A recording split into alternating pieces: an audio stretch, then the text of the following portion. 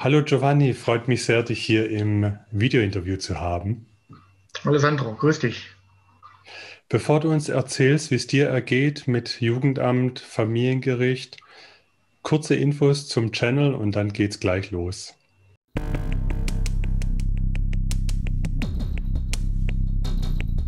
Ihr könnt diesen Kanal abonnieren, dann bekommt ihr Benachrichtigungen automatisch über alle neuen Videos. Vergesst nicht, die Glocke zu aktivieren, damit ihr wirklich über alle Videos benachrichtigt werdet. Und wenn ihr wissen wollt, was so auf der Website passiert oder welche neuen Videos es gibt, dann könnt ihr uns auf Twitter folgen oder auf Facebook. Wenn ihr einen Fall habt, über den wir berichten sollen auf Freifam, dann schreibt uns an info.freifam.de. Und last but not least, du kannst auch spenden für Freifam. Jeden Cent deiner Spende werden wir verwenden, um unsere neuesten Artikel auf Facebook oder Twitter zu bewerben. So ermöglichst du uns, die Reichweite von Freifarm zu erhöhen. Okay, Giovanni, sehr schön, dass du hier bist. Stell dich vielleicht erstmal selber vor, erzähl uns auch, wie viele Kinder du hast, wie alt die sind, wo du lebst und äh, ja, ein bisschen was über dich. Ja, also mein Name ist Giovanni Bianco. Ich habe zwei Kinder, eins aus erster Ehe, eins aus zweiter Ehe. Und bei mir geht es in erster Linie um die Jugendämter Tübingen und Reutlingen. Ähm, wir haben vor einem halben Jahr eine Gruppe gegründet in Tübingen. Und in der Gruppe sind einfach fünf Väter, die das Jugendamt anprangern. Und da bin ich einer davon. Sind auch sehr erfolgreich, sage ich mal, bisher. Ja. Also wir werden wahrgenommen es wird auch versucht, dagegen zu kämpfen. Das heißt also quasi, das, was wir tun, hat schon irgendwo einen Hinterhalt oder Hintergrund. Ja. Von daher versuchen sie halt jetzt überall zu rudern, gegen uns zu rudern und ja, gegen uns zu arbeiten. Aber in dem Moment, wo sie halt rudern, machen sie immer mehr Fehler. Das ist einfach unser, ja, unser Vorteil. Sie probieren es irgendwie rauszurudern und es klappt halt überhaupt nicht. Ja, und, und ich habe. war ja dein Versprecher, dass es einen Hinterhalt gibt, gar nicht so falsch, weil das Ganze hat natürlich auch, denke ich mal, den Sinn, dass die halt die Fehler machen. Ihr greift die halt an. Richtig, genau. Öffentlich und dann machen die ihre Fehler. Ich meine, in dem Sinne ist die Öffentlichkeit quasi euer Hinterhalt für diese Amtsträger. Richtig, genau. Die Öffentlichkeit, anders geht es nicht. Jeder Einzelne für sich kann kämpfen, wie er will, aber in der Öffentlichkeit, wo sie nun mal stehen jetzt momentan, wird es halt einfach wahrgenommen. Das, wie gesagt, du hast auch mitverfolgt über Radio, über Zeitschriften, was jetzt gerade hier passiert. Und jeden Tag kommen von irgendwelchen Seiten einfach Schläge auf den Landrat, auf das Jugendamt und die müssen sich immer wehren dagegen. Ja. Ja, und wie ich habe dich unterbrochen, du wolltest noch über dich erzählen.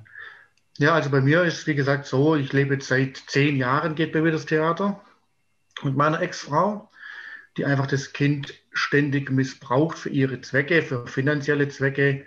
Ja, und das habe ich jetzt von Tübingen, jetzt bin ich nach Reutlingen weitergewandert und verfolge da den gleichen Weg quasi wie in Tübingen.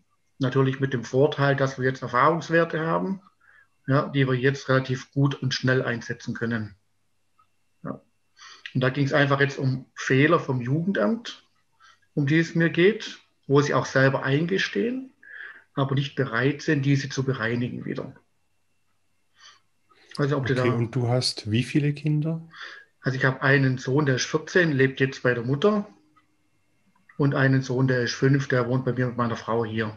Also bin zum zweiten Mal mhm. verheiratet und von daher alles gut hier, geregelte Bahnen. Also eigentlich das perfekte Familienleben, was wir hier haben. Ja, Im Gegensatz zur Mutter. Also ist einfach so, wir haben eine Kontinuität, wir haben hier beide gute Jobs, wir haben ein Häuschen mit Garten, wie man sich vorstellt. Ja. Wir haben, wie gesagt, sein Bruder wohnt bei uns und alles eigentlich ja, in geregelte Bahnen. Und ja, im Gegensatz zur Mutter, wo halt schon zum dritten Mal geschieden ist und zehnmal oder fünfmal umgezogen ist in einem Jahr und lauter so Dinge einfach, wo man sagen muss, geht einfach gar nicht sowas. Ja. Das ist dann Sohn ja 14, da könnte er ja eigentlich, sagt man, selber entscheiden. Da zählt ja der Kindeswille sehr viel. Genau. Hat er ja getan, leider gegen mich nach einem Streit, nachdem er von der Mutter dann quasi ähm, beeinflusst wurde, seit zehn Jahren natürlich, ganz klar wurde beeinflusst. Ja, und es war im November eine Verhandlung. Und da ging es ums Aufenthaltsbestimmungsrecht, das die Mutter dann beantragt hatte und natürlich auch bekommen hat. Ja. Mit der Begründung des Richters der Wille des Kindes zum einen, was natürlich aus der Luft hergezogen ist, weil der Wille des Kindes war nicht, das Aufenthaltsbestimmungsrecht auf die Mutter zu legen, sondern sich um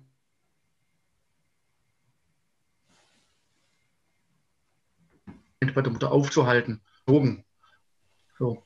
Das nächste war einfach, der Richter hat es begründet, also wirklich begründet damit, aus finanziellen Aspekten der Mutter, ja, um die Mutter finanziell wieder fähig zu machen, handlungsfähig zu machen, um Kindergeld beantragen zu können, um Unterhalt beantragen zu können, musste man mir das Aufenthaltsbestimmungsrecht entziehen.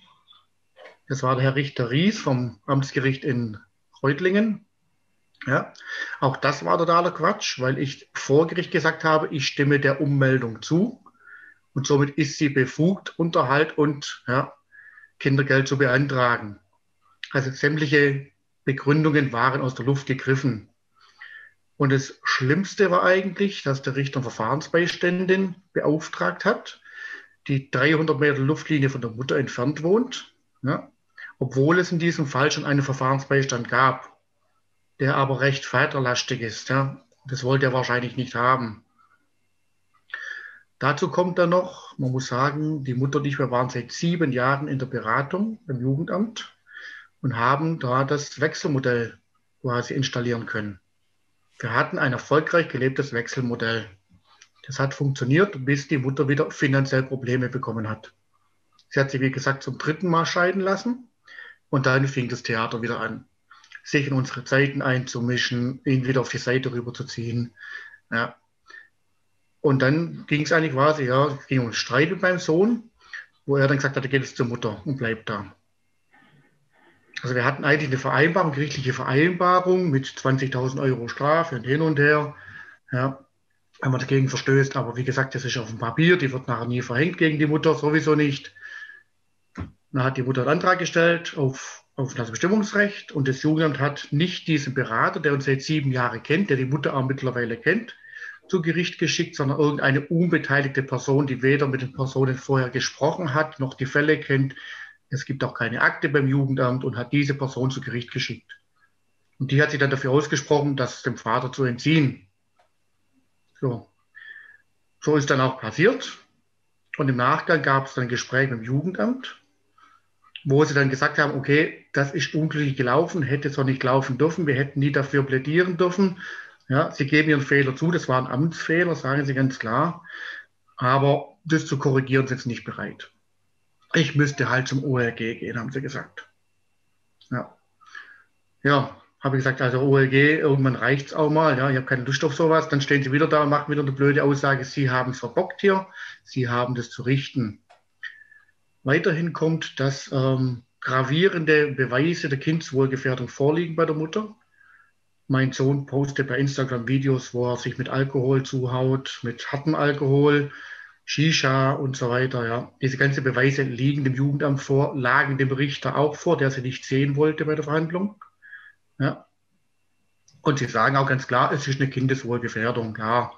Ja, harter Alkohol, sind wir uns alle einig, das ist langfristig schädigtes Hirn und ist eine Kindeswohlgefährdung. Dagegen vorzugehen, haben sie nicht vor. Ganz klar. Also ich habe das alles schriftlich jetzt bekommen dass sie, das, dass sie nichts machen werden, dass es Aufgabe der Eltern ist, dagegen vorzugehen. Und ich habe einfach gesagt, ich kann nicht, ich habe keinen Kontakt mehr zu meinem Sohn, dank Ihnen seit einem Dreivierteljahr. Ja, ich kann nicht dagegen vorgehen, ich gehe zum Jugendamt, ich suche Hilfe beim Jugendamt und Sie helfen mir nicht. Das heißt für mich Unterlassung. Ja, Sie haben hier Hinweis auf Kindeswohlgefährdung, unterlassen hier irgendetwas zu tun. Das sind jetzt meine nächsten Schritte einfach. Also ich habe gerade heute Morgen schon eine E-Mail wieder weggeschickt ans Jugendamt wo ich einfach jetzt angekündigt habe, dass es jetzt einfach nicht mehr auf einem guten Weg geht, dass wir jetzt einfach in die Öffentlichkeit müssen, dass das Ganze jetzt zum Landrat von Reutlingen weitergeht ja, und dann halt an der äh, FAF und dann halt der Bürgerbeauftragte von Baden-Württemberg auch. Ja, also der Sachbearbeiter, mit dem wir das Gespräch geführt haben, der kennt mich sehr gut, der weiß das ganze Thema ja, und weiß nicht, wie sie jetzt reagieren, aber sie wissen es und dass wir diese Connections haben. Sie wissen aber, was in Tübingen abgeht im Moment. Wissen sie auch, ja. Aber so wirklich bereit, sie müssten sich halt Fehler eingestehen, was sie ja getan haben. Ich war im Dezember mit dem Gregor Gastrion, kennst du den? Auch mhm. einer von den fünf, genau. Mit dem, den hatte ich mitgenommen als Beistand zum Jugendamt. Ja, dass nicht wieder heute A sage, morgen B. Aber genauso ist es auch wieder. Also im Gespräch mit ihm zusammen haben sie zugegeben, ja, es war falsch. Wir haben einem Vater, dem man nichts vorwerfen kann, das Aufenthaltsbestimmungsrecht entziehen lassen. Natürlich hat es der Richter gemacht und nicht das Jugendamt, das ist immer die Ausrede. Ja, und dann sage ich, klar, ihr spielt euch den Ball hin und her. Der Richter sagt, ich habe auf Empfehlung vom Jugendamt gehört und das Jugendamt sagt, der Richter hat es ja getan. Ich sage, den Ball könnt ihr jetzt woanders, das ist Blödsinn, bei mir nicht. Also wie gesagt, vom Jugendamt wurde es dann festgestellt, es ist eine Kindeswohlgefährdung und es war ein Fehler, mir das Aufenthaltsbestimmungsrecht zu entziehen, weil die Mutter es nicht unterscheiden kann vom Sorgerecht. Das heißt, ich werde jetzt 100 Prozent wieder, wie die letzten acht Jahre, aus dem Leben meines Sohnes rausgekegelt. Ich bekomme keine Informationen mehr. Schon zum Gerichtstermin war es so, dass zum Beispiel das Zeugnis im Sommer, die Mutter hat es bekommen und hat es wieder zurückgegeben, ohne mich sehen zu lassen, unterschreiben zu lassen oder irgendwas. Ja, ein ganz klarer Fehler, sowas. Da hieß es dann nur vor Gericht, heißt, Sie können sich die Informationen auch selber holen. Sie haben ja Sorgerecht. Ja, das ist totaler Blödsinn. Sowas. Wir haben die Erfahrung gemacht, die Mutter kann es nicht trennen. Ich habe seit einem Dreivierteljahr keine Informationen über Gesundheit, über Schule, über Sonstiges bekommen. Ja. Und jetzt stehen wir wieder am gleichen Punkt wie vor, vor zehn Jahren. Wir hatten ein Wechselmodell erarbeitet, ja, das Beste fürs Kind überhaupt. Und nur weil es der Mutter nicht gepasst hat, sie konnte nie damit klarkommen, das war das Problem. Also sie hat immer schon gegen mehr Umgang gekämpft und dass der Vater das Kind mehr sieht. Dann war das Wechselmodell da und sie konnte nie klarkommen damit. Ja. Und wie gesagt, das ist einfach ein finanzielles Ding, was sie da einfach hat. Sie hat es jetzt aufgelistet in der Verhandlung. Das heißt, sie ist ohne Unterhalt und Kindergeld nicht einmal in der Lage, ihre Immobilie abzubezahlen. Also geschweige denn von irgendwas zu leben oder sonst was. Sie bezahlt mehr für ihre Immobilie, als sie überhaupt verdient. Ja dieser Bearbeiter vom Jugendamt, der hat es mittlerweile verstanden, ja, wollte sich aber damals beim Gerichtstermin also nicht dazu begeben, weil seine Begründung war, er möchte nach der Verhandlung als neutraler Berater weiter beraten. Und darum kam halt irgendeine, sage ich, hätte jemand von der Straße nehmen können, 50 Euro geben und sagt, bitte sag für mich aus. Jetzt wäre das Gleiche rausgekommen. Ich habe dann, wie gesagt, dem Jugendamt geschrieben, sag, auf welcher Basis hat die denn ihre Entscheidung getroffen? Da hieß es aufgrund der Aktenlage. Das Lustige daran ist, es gab keine Akte zu dem Zeitpunkt in Reutlingen. Die Akte war leer. Das erste war dieser Antrag vor Gericht. Sag ich, ja, was haben Sie dann genommen? Sie haben ja gar nichts. Ja, doch, wir haben eine Akte. Sag ich, Sie haben gar nichts da. Es gibt gar nichts in Reutlingen. Das fängt jetzt erst an. Wir waren nie in Reutlingen beim Jugendamt, außer eine Beratungsstelle, die aber ein Außenamt ist vom Jugendamt. Und der macht auch nur seine Gesprächsnotizen, aber sonst nichts weiteres. Da musste er zugeben, ja, es war einfach ein Fehler. Ja. Und ja. Das, ähm, ich verstehe noch nicht, für euch war das Jugendamt Tübingen zuständig. Richtig, bis das Kind dann quasi zur Mutter nach Reutlingen gegangen ist und jetzt ist halt Reutlingen wieder zuständig. Ach so, das heißt. Ähm, also, also, ganz kurz, früher hat er bei ja. mir gewohnt, in Tübingen oder in Gomaringen, ja, was zu Tübingen mhm. gehört. Die Mutter hatte auch hier gewohnt in Tübingen, in Gomaringen. Mhm. Dann hat die Mutter sich einen Neubau hingestellt, ja, im Landkreis Reutlingen. Damit hat die Zuständigkeit gewechselt nach Reutlingen. Und wir sind in Reutlingen auch zur äh, Beratung gegangen. So, dann ist das Wechselmodell eingetreten. Das Kind hatte seinen Hauptwohnsitz wieder in Tübingen. Ja, damit er hier auf die Schule gehen kann. Er ging beim, oder geht immer noch bei mir auf die Schule, muss jeden Tag 20 Kilometer fahren mit dem Bus. Und dann war quasi eigentlich, ja, Zuständigkeit lag in Tübingen. Da bin ich wieder auf die Gruppe gekommen, auf die fünf Leute quasi. Ähm, aber die Zuständigkeit wurde jetzt nach Reutlingen abgegeben, schon im Vorfeld, weil das Kind hält sich ja quasi ähm, in Reutlingen auf. Unabhängig vom Wohnsitz, wo er gemeldet ist, hält sich da auf, also sind wir raus. Da gibt es ein Schreiben vom Landrat Walter von Tübingen, der mir das geschrieben hat, sie sind nicht zuständig, weil das Kind sich gerade nicht bei mir aufhält. Ja. Okay, und der Berater, der neutral bleiben wollte, der war jetzt von Reutlingen oder von Tübingen? Der war von Reutlingen. Ja. So. Nur leider kam er dann nicht vor Gericht und dann kam das Ganze halt anders, wie man es halt so kennt, vier Frauen, ein Mann. Und dann nach dem Gespräch, wie gesagt, nach der Gerichtsverhandlung hatten wir ein Gespräch mit dem Amtsleiter und diesem Berater. Und der Berater sagt, er hätte niemals dafür plädiert. Also das war der größte Fehler, das zu machen, überhaupt auf die Mutter zu legen. Mhm. Aber wie gesagt, das rückgängig zu machen, Ja, sie geben alle ihre Fehler zu, aber sind nicht bereit, irgendwas zu ändern. Und jetzt das heißt, vor, vor Gericht war dann eine andere Sachbearbeiterin zuständig, die empfohlen hat, dass die Mutter das Aufenthaltsbestimmungsrecht bekommt. Vor Gericht war okay. eine Sacharbeiterin, die überhaupt nie etwas mit dem Beteiligten zu tun hatte, die Situation nicht kannte, kein Wort mit ihnen gesprochen hatte, keine Information hatte, weil es keine Akte gab, die auch wirklich ruhig war im Gericht, weil sie nichts sagen konnte. Nur als der Richter dann gefragt hatte, hieß es, ja, wir sind dafür, es auf die Mutter zu legen. Mhm. Aber okay. auch sie sagt heute, es war falsch, ja. Aber ja. Ich, ich glaube, ich glaube, wir sind uns beide einig, dass das alles eine Farce ist und dass es nur darum geht, die Entscheidung herbeizuführen, die politisch gewollt ist. Richtig, genau. Okay. Man hat heißt, weder auf die Hintergründe geschaut, wie gesagt, Kontinuitätsprinzip, ja. Umfeld vom Kind. Er hat seinen Sportverein hier, seine Freunde hier, die Schule hat er hier, ja, die Kontinuität bei den Eltern. Bei mir, wie gesagt, wir gehen beide seit Jahren in der gleichen Firma arbeiten, haben seit mhm. 15 Jahren das gleiche Haus, immer gleiche Partner. Ich bin verheiratet seit 10 Jahren mit meiner Frau. Ja, also es ist eigentlich bei uns alles schön in geregelte Bahnen. Wir haben bei der Mutter als ein Auf und Ab ist, Mann, Heirat, wieder getrennt, wieder geheiratet, wieder Kinder bekommen, nächste Leute ins Haus reingeholt. Also total wirrwarr eigentlich. Bei ihr ist eigentlich, kann man von Kindsmissbrauch sprechen. Sie missbraucht ihn für ihre finanziellen Zwecke. Kann man mhm. einfach so sagen. Ja. Ich glaube, das ist, ähm, das kann man nicht verstehen, wenn man es nicht erlebt, beziehungsweise nicht die psychologische Ausbildung dazu hat, um es zu verstehen, weil diese Eltern-Kind-Entfremdung ist ja eine Art von narzisstischem Missbrauch. Ich denke, deshalb sprichst du auch von Missbrauch. Da wird das Kind so indoktriniert, dass es im Grunde das tut und macht, was der eine Elternteil genau. will, der das Kind für seine eigenen Zwecke zur Befriedigung seiner materiellen, emotionalen Bedürfnisse einsetzen und missbrauchen will. Also muss einfach nur noch ein Beispiel bringen, ganz einfach. Es war vor zwei Jahren, da war es so, die Mutter und der Sohn kamen an Weihnachten, beide Tränen in den Augen, hatten sich gestritten und sie hat gesagt, ich will ihn nie wiedersehen, hatten bei mir abgesetzt. Dann habe ich zwei Tage, erst mal einen Tag gewartet, nach zwei Tagen ganz vernünftig mit ihr gesprochen, sagt, was ist los gewesen? Ja, ganz normal und toll geredet, hier, das war nicht in Ordnung von euch, aber ja, also wirklich wieder guckt, dass die zwei sich annähern. Genau die gleiche Situation, was heißt die gleiche Situation? Eine andere Situation hatten wir jetzt letztes Jahr im März.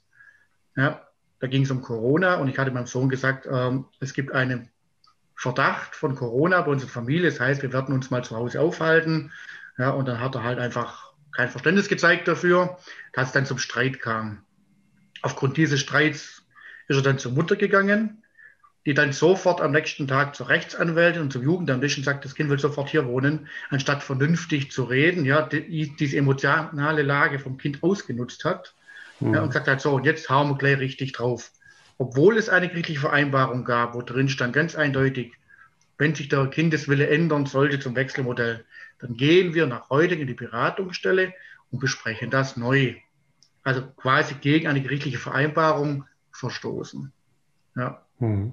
Also wir hatten die Vereinbarung gemacht beim Jugendamt. Ich hatte aber gesagt, mir reicht das nicht, weil ich weiß, die wird dagegen verstoßen wieder. Gesagt, wir gehen nur zu Gericht, lassen das Ganze absegnen und gut ist hat mir im Endeffekt überhaupt nichts gebracht. Die ganzen mhm. Verstöße sind alle ignoriert worden. Ja.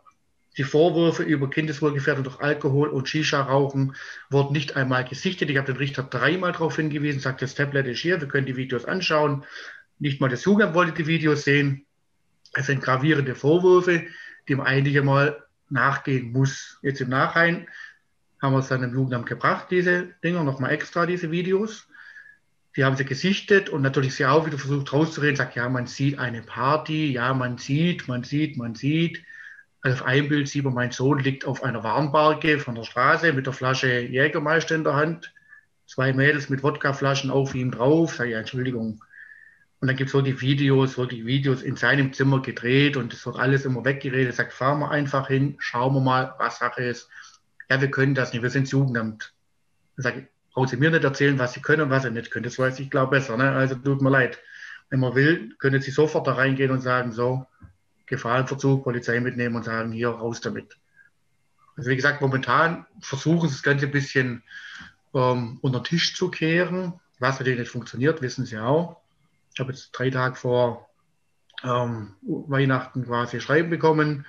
über Ablehnung von Akteneinsicht unter dem ganz normalen ja, Grund natürlich, was jetzt an der Bürgerbeauftragte gehen wird, weil mit dieser Ablehnung hat bis jetzt jeder oder mit Bürgerbeauftragten, jeder von Tübingen hat Akteneinsicht bekommen. Nachdem sie erst abgelehnt wurde, hat sich der Bürgerbeauftragte eingeschalten und dann hat es funktioniert. Den gleichen Weg werde ich jetzt natürlich auch gehen. Mhm.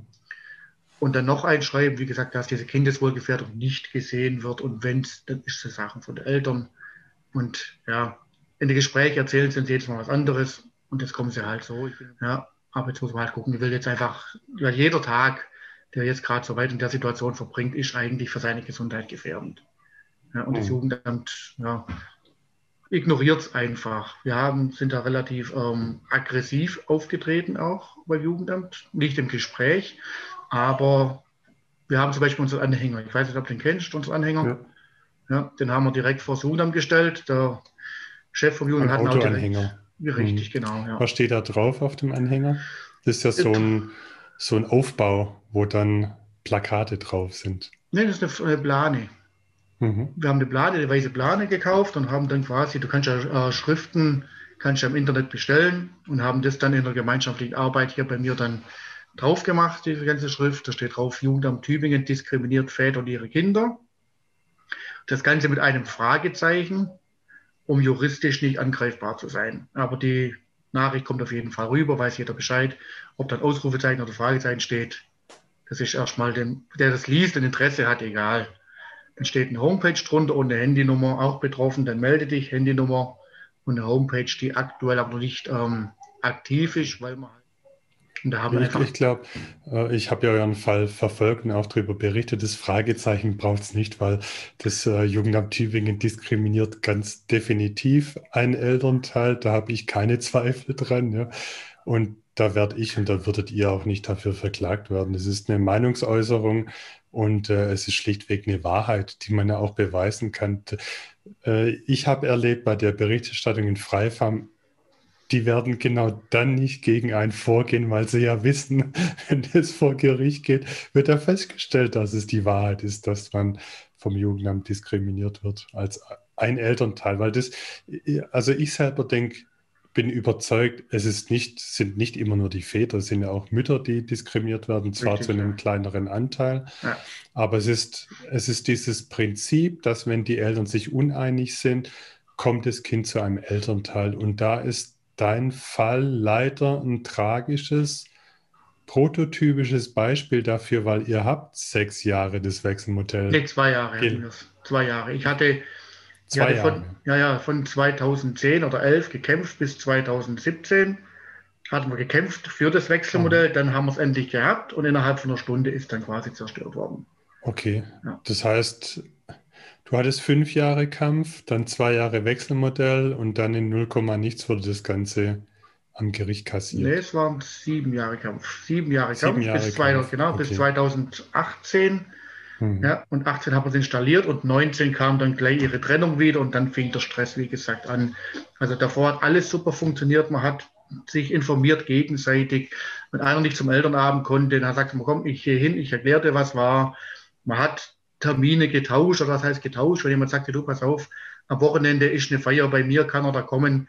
Dann hat man mhm. gesagt, logisch kann er kommen, klar, und ohne irgendwie dann ein Gegenwochenende zu fordern. Ja. Hat also wirklich alles super top funktioniert. Mhm. Bis die Mutter halt wieder ihren Rappel bekommen hat und hat sich getrennt. Dann kam sofort eine äh, Zahlungsaufforderung von 16.000 Euro, Unterhaltsrückstände bitte nachbezahlen. Ja, da fing das ganze Theater an. Mhm. Ja, und habe ja, auch schon. Ich glaube, man sieht da leider sehr gut, dass der Staat für seine Politik dann halt den Elternteil benutzt, instrumentalisiert, um seine Ziele durchzusetzen. Ich denke mal, deine Ex-Partnerin, die war, während sie in der Beziehung war, emotional ausgeglichen. Ähm, sie hatte finanzielle Zuwendungen von ihrem neuen Partner. Das heißt, da musste sie sich auch keine Sorgen machen. Richtig. Und als das Ganze zerbrochen ist, hat sie erstens emotionalen Problem gehabt, ja, als vermutlich, ja, narzisstische Persönlichkeit, hat sie nicht den Zufluss an Zuneigung bekommen, den sie brauchte. Und sie hatte sofort einen neuen Partner. Also. Sie ist immer so, so, bevor sie sich trennt, sucht sie erstmal einen neuen. Also das war bei mir so, das ist, jetzt war jetzt wieder so bei ihrem erst einen neuen suchen. Den hat sie vorgestellt als Freund von früher. Der mhm. damalige Ehemann hat die dann reingelassen und begrüßt als Freund von früher und toll, dass du da bist. Ja, und dabei war es halt ihr Liebhaber, er konnte gehen. Ja, er war recht, um ihr ein Haus zu bauen quasi. Er war äh, Beamter, ja, bekommt entsprechend Kredite. Ja, logisch, dann sind Zinssatz so ein 0, Schlagwich tot. Und natürlich auch das Geld, weil die Sicherheit einfach da ist. Er war Bundesgrenzschutzpolizist. So, ja. Nachdem das Haus jetzt diese... quasi gebaut war und ähm, die Kinder in einem Alter, wo man so eine Mutter nicht mehr nehmen würde, hm. konnte er dann gehen nach vier Jahren. Ja. ja. Okay, und der neue Partner hat wahrscheinlich nicht die finanziellen Mittel wie der vorherige. Er ist Baggerfahrer, ja. ja. Aber. Geht ein bisschen schwieriger als bei einem Beamten. Also ist sie vielleicht emotional irgendwie beliefert, aber halt finanziell nicht. Finanziell ist sie, sie hat eine Auflistung gemacht, wo ganz klar drinsteht, sie verdient 1500 Euro und bezahlt fürs Haus 1700 Euro. Okay, und das ist natürlich die naheliegende Idee, was ist die beste Geldquelle? Das ist das Kind, Einfachste, dann kriege ich genau. da Kindesunterhalt. Und der Richter hat dann, das würde mich interessieren, wie sieht denn diese Formulierung aus, von der du sagst, dass der da im Grunde so entschieden hat, um die Mutter finanziell zu peppeln? Also wortwörtlich kann ich es jetzt nicht sagen, aber um die Mütter finanziell oder ja, was, was stand denn drin genau? Um sie wieder ja, fähig zu machen, handlungsfähig zu machen. So hat er es ausgedrückt, mhm. handlungsfähig zu machen. Im Sinne ja. des Kindeswohls wahrscheinlich, dass die Mutter da ähm, als Handlungs handlungsfähig, nee, nee, handlungsfähig im Sinne von Unterhalt und ähm, äh, Kindergeld. Mhm. Ganz klar, somit hat er es begründet. Ja?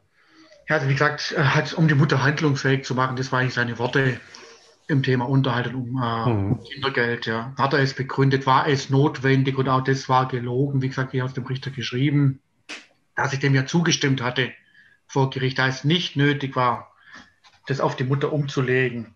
Und als zweites halt begründet mit dem Kindeswillen, der sehr ausgeprägt ist. Dann habe ich zu einmal gesagt, ähm, Kindeswohl steht über Kindeswille. Und der Aufenthalt bei der Mutter aufgrund vom Alkoholmissbrauch dient nicht dem Kindeswohl. Und zum Zweiten war es nicht der Kindeswille, das Aufenthaltsbestimmungsrecht auf die Mutter zu legen, sondern sich im Moment, solange dieser Streit anhält, bei der Mutter aufzuhalten. Und auch dem mhm. habe ich zugestimmt. Dieser Entzug des Aufenthaltsbestimmungsrechts war total unnötig. Ja, Klar, Leute, völlig, das ist ja. keine Frage. Also dass man sich mal streitet, ist ja ganz normal, ja. Und äh, Kinder fluktuieren zwischen den Eltern, lehnen sich mal mehr dem Elternteil an, mal dem anderen, um halt das Imago, ja, die, die Persönlichkeit des Elternteils ähm, in sich aufzunehmen, gleichzeitig dann die eigene Persönlichkeit zu formen und dann auch in eine Ablehnung gehen zu dem Elternteil, dann wieder hinzugehen. Das sind ja ganz normale Prozesse. Und wenn da ein Richter wie der Herr Philipp Ries vom Amtsgericht Reutlingen eingreift in so eine normale psychologische Dynamik und dann das dazu führt, ja, dass du deinen Sohn jetzt ein Dreivierteljahr nicht siehst und er dich nicht und er damit im Grunde diese Ablehnung ja verstärkt, dann hat er von Psychologie keine Ahnung, ist völlig inkompetent und entscheidet auf Grundlagen, für die es keine gibt. War das eigentlich jetzt eine Eilsache oder eine Hauptsache? Das war eine Hauptsache. War Und war da kein Verfahren. psychologischer Gutachter involviert? Nein, eine Verfahrensbeistände war mit dabei, die mit ihm geredet hat. Aber die Verfahrensbeistände, ich habe die schon angerufen, wo ich das Schreiben bekommen habe, dass sie zuständig sei wird, sage ich, mit ihnen schwätze überhaupt kein Wort, weil mhm. 300 Meter von der Mutter entfernt, das, riecht, das stinkt mir ganz gewaltig zum Himmel. Und so entsprechend kamen sie dann auch hierher zu uns, hatten ein Gespräch geführt, natürlich immer sehr provokativ. Ja. Also hat sie, sie wollte eigentlich keine Fakten haben. Wie heißt diese Verfahrensbeiständin? Blumenkiefer. Sie ist ganz neu als Verfahrensbeiständin, selbstständig, hat hm. vorher, jetzt kommt, in der Beratungsstelle gearbeitet, in der wir sieben Jahre zur Beratung waren. Ja. ja. Ich habe dann auch, ja, ich habe dann auch zu ihr gesagt, sie soll sich bitte Informationen von dem Berater holen. Das hat sie natürlich nicht getan. Ja. Ich gesagt, sie braucht da eine Schweigepflichtsentbindung. Sage, bekommen Sie von mir? Ja, von der Mutter auch. Ja.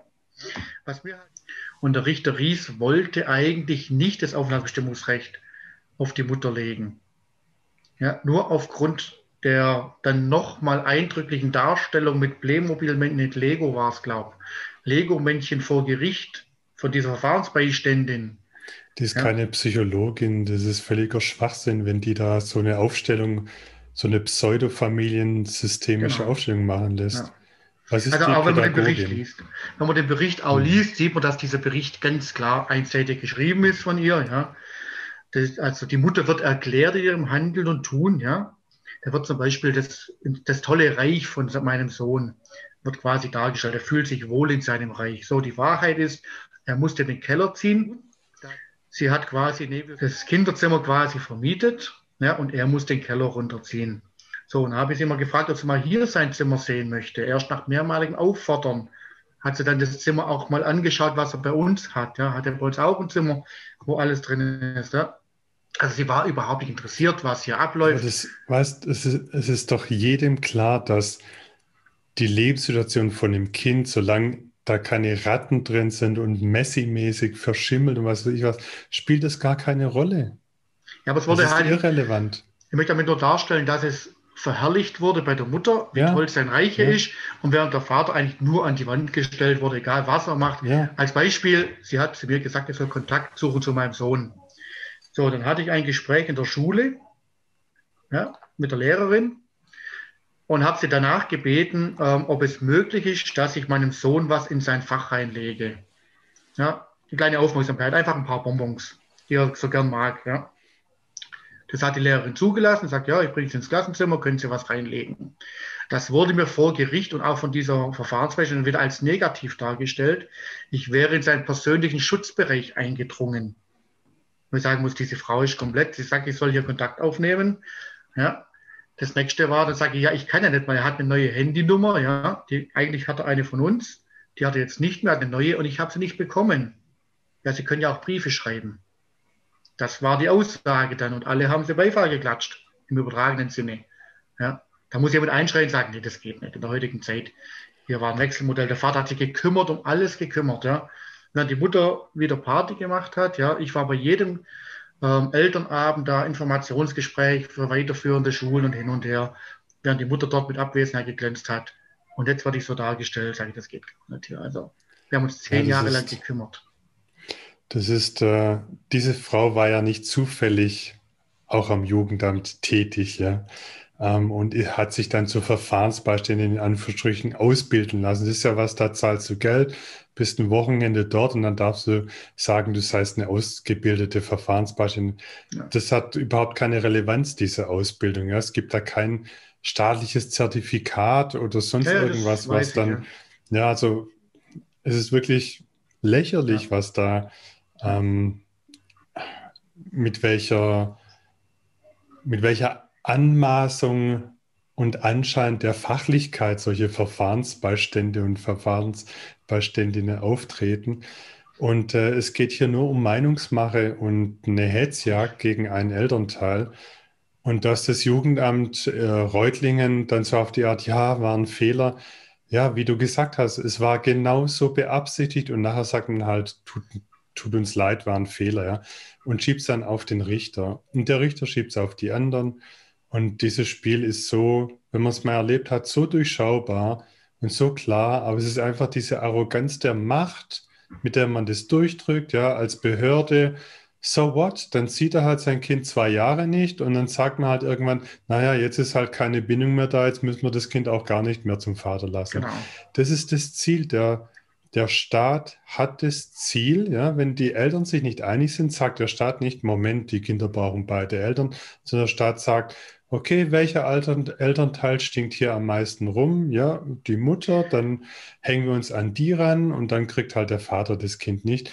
Wenn jetzt du der gewesen wärst, ja, der da Trouble gemacht hätte, und die Mutter wäre aber die gewesen, die gesagt hätte, nee, ich will, dass das Kind bei beiden Eltern ist, dann hättest du jetzt halt deinen Sohn. Ja, das Thema ist einfach, äh, was in Tübingen auch sehr stark zu beobachten ist, dass gar nicht drauf geschaut wird, wer Ärger macht. Das halten wir ja auch dem Landrat vor. Das heißt, wenn es andauernd Streit gibt, dann wird halt einer aus dem Spiel rausgenommen. Und das ist halt der nicht betreuende Elternteil. Es wird nicht geschaut, wer macht den Stress die ganze Zeit, wer kommt nicht mhm. zu Beratungsgespräche, ja, sondern es wird einfach quasi der nicht betreuende rausgenommen. Das heißt quasi, es ist ein Freischein für die Mütter, lang genug nach Stress zu suchen und dann bekomme ich es. Und genauso scheint es heute zu sein. Da, da, muss ich ehrlich widersprechen. Es sind nicht die Mütter, sondern das Schema, das ich durch die vielen Fälle, die ich mittlerweile kenne, sehe, ist, der Elternteil, der mehr verdient, der kriegt die Kinder nicht.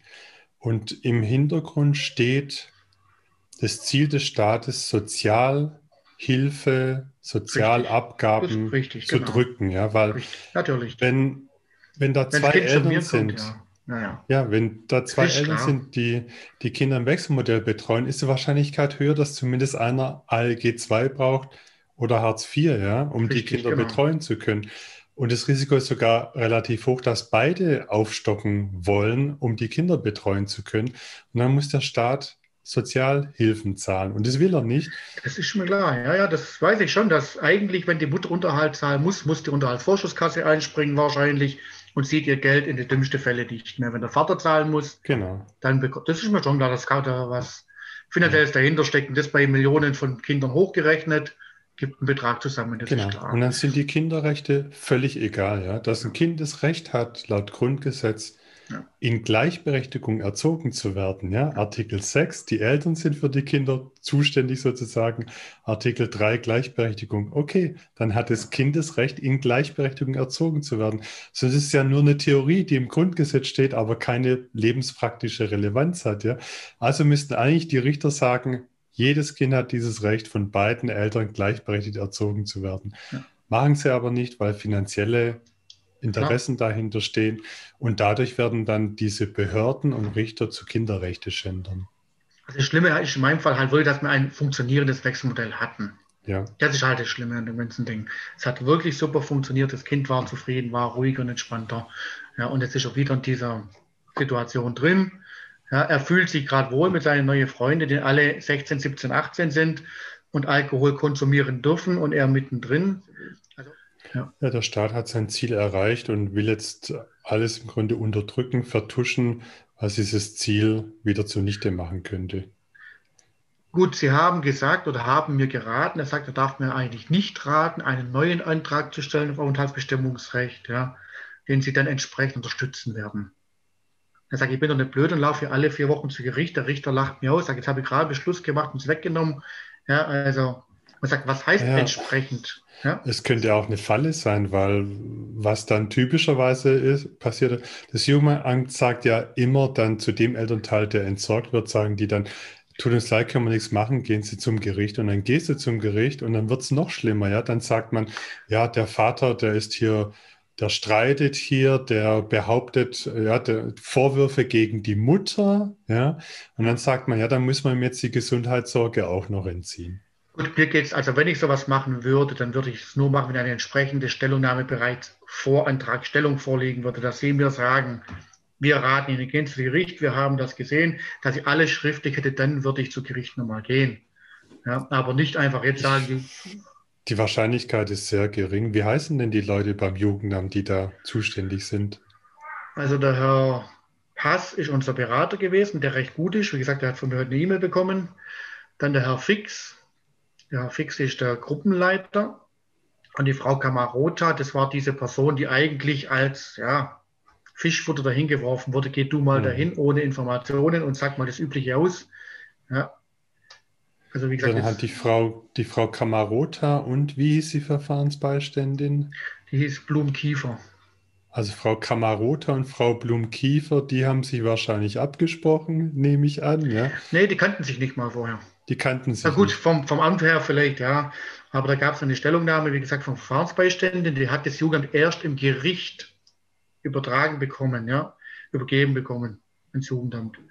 Die Aussage von dem Herrn Fix, vom Gruppenleiter, war aber, die Frau Kamarota hat aufgrund dieser Stellungnahme und der Akte entschieden. Ich sage, die Stellungnahme, das ist, Akte.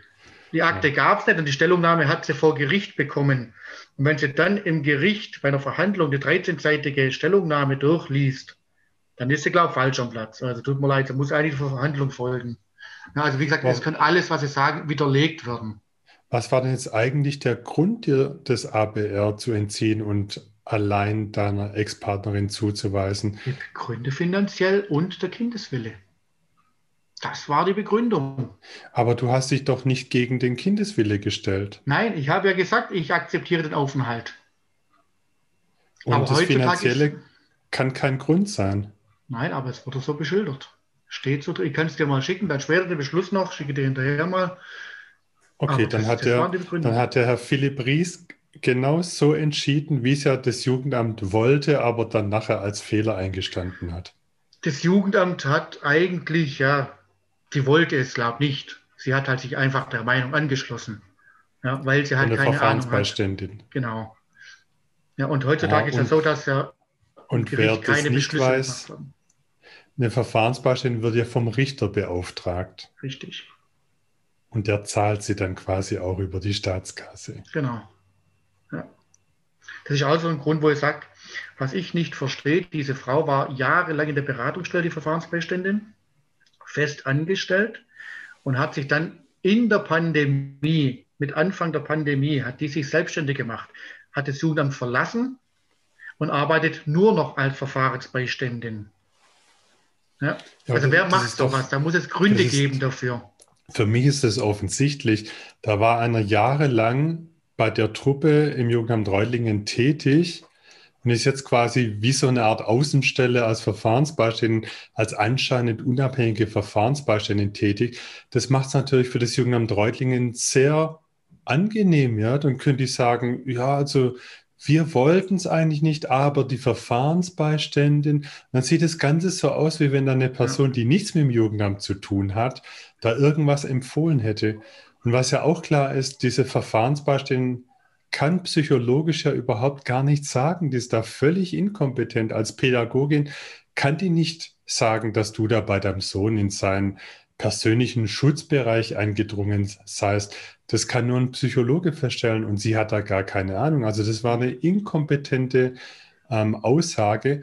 Und dann sagten die nachher, ja, wenn man sie da angreift, ja, das war halt meine Meinung. Und das Jugendamt sagt dann nachher auch, ja, das war halt nur unsere Meinung. Und der Richter entscheidet im Endeffekt nur auf Basis von Meinungen, aber es gibt keine Tatsachen und keine kompetenten Einschätzungen. So war es in deinem Fall. Also ich muss sagen, ja, dieser Herr Pass von der Beratungsstelle, das ist wirklich so der auf meiner Seite. Den wollte ich eigentlich dabei haben. Sag, wenn der dabei ist, dann läuft alles, ja. Weil der realistisch sieht. Der ist für mich, der sieht die Fakten. Und auch dieser äh, Berater hat sich dann im Gespräch im Nachhinein über den Bericht aufgeregt, der Verfahrensbeistand, und sagt, das kann nicht sein. Er hatte nach einer Stunde Gespräch mit drei Beteiligten hier jeweils eine Stunde so einen Bericht hier abliefert, sagt, das ist eine Frechheit, sowas. Ja, naja, das habe ich aber dann, alles dem Richter geschrieben. Dann ist der Beschluss des Richters doch kindeswohlgefährdend, wenn der Herr Paas sagt, das kann ja nicht sein. Du kannst aber nur zum OLG wieder gehen. Das wäre das nächste gewesen, zum OLG zu gehen. Und für was? Und um das Bestimmungsrecht zurückzubekommen, ich erwarte eigentlich vom Jugendamt, was ich ganz klar gesagt habe, dass Sie tätig werden. Dass Sie einen Antrag stellen nach 1666, ja, oder dass Sie einen Antrag stellen und sagen, wir haben hier Fehler gemacht.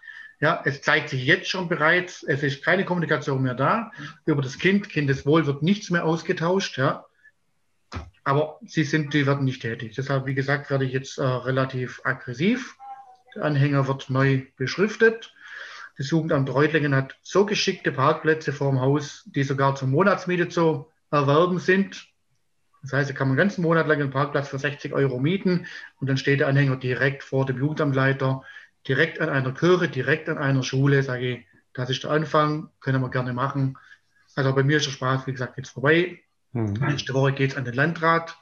Da habe ich wieder einen Pluspunkt. Der Landrat, den habe ich vor Jahren schon mal bemüht. Da war auch Jugendamt Reutlingen beschäftigt.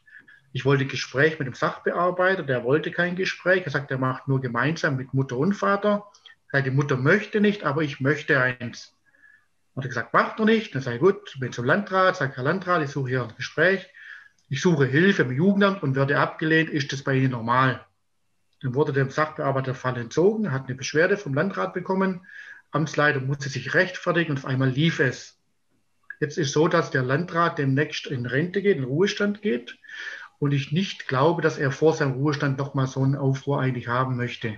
Hm. Ich denke, dass ich da relativ gut auch wieder beraten bin und sage hier, ich habe eine Kindeswohlgefährdung angezeigt beim Jugendamt. Sie nicken ab und sagen, ja, es ist eine, aber wir tun nichts dagegen. Das müssen Sie beheben. Sage, ich habe keine mhm. Möglichkeit momentan, ich habe keinen Kontakt. Dank dem Jugendamt unter anderem, nicht nur, aber auch dank dem Jugendamt. Ja, das Jugendamt selber hat sogar im Gespräch Das habe ich sehr gut. Ich mache im Gespräch Zusammenfassung und schicke sie und es kommt nie äh, Widerruf. Und sie haben im Erstgespräch festgestellt, dass der abrupte Kontaktabbruch zum Sohn bereits eine Kindeswohlgefährdung darstellt. Das hat dieser Herr Fix, dieser Gruppenleiter, direkt im Erstgespräch gesagt. Ich habe das alles niedergeschrieben, ihm geschickt, sage hier Gesprächszusammenfassung, weil Sie machen es ja nicht und es kam keine Widerrede. Aber natürlich schön formuliert und habe gesagt, ich finde es erstaunlich, dass Sie das, dass Sie es anerkennen als Kindeswohlgefährdung, dass der Kontakt von heute auf morgen abgebrochen ist. Hast du da schon versucht, was über das Verwaltungsgericht zu machen? Weil wenn der feststellt, das sei eine Kindeswohlgefährdung, dann muss er ja nach 8a tätig werden und das, das habe ich immer gesagt. anrufen. Ich habe ihm auch eine Dings, eine Bestätigung gleich gemacht. Sagt bitte, unterschreiben Sie mir diese Bestätigung, dass Sie keine Kindeswohlgefährdung sehen, dass Sie nicht nach 8a reagieren werden und dass ich es zu akzeptieren habe. Hat er nicht unterschrieben natürlich. Ja, weil die Sache ist ja die, im 8a steht ja, wenn ähm, wie heißt es, nicht tatsächliche Anhaltspunkte, sondern wenn, ähm, ich schaue mal gerade kurz, diese Formulierung grad, ist wichtig. Ähm, ich wollte gerade das, Schreiben ja. gerade mal Kopf, weil das habe ja, ich genau. zufällig, das habe ich da liegen vom Jugendamt.